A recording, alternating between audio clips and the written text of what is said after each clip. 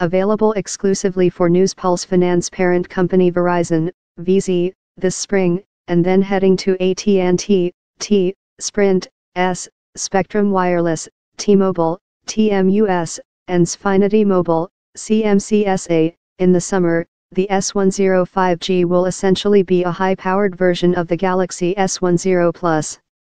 It will also help set early expectations, for better or worse, for consumer-grade 5G connectivity. Samsung's Galaxy S10 Plus is the current top-of-the-line mode for the S10 series. But that will soon change when the company begins rolling out its S10 5G this spring. The phone, which will sport many of the same underpinnings as the S10 Plus, will be among the first 5G mobile devices to hit the market this year, and will give consumers a front row seat to understand the hubbub surrounding the technology. Like the first generation of 4G smartphones that hit the market years ago, however, the 5G experience will be spotty at best.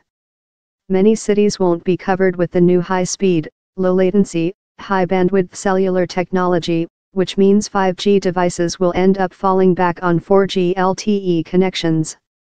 I've seen 5G connectivity in action, but only in testing environments, so I can't say how well it works while, say, riding a bus or sitting at a coffee shop. But if it performs as expected, you'll see internet speeds far faster than anything available with 4G LTE. As for the S10 5G, Samsung wants to make the smartphone a true standout among the initial crop of 5G enabled devices.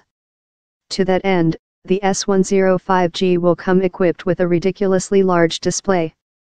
That screen, like Samsung's other S10 phones, will feature the company's new dynamic AMOLED technology, which promises brighter colors compared to Samsung's previous AMOLED screens.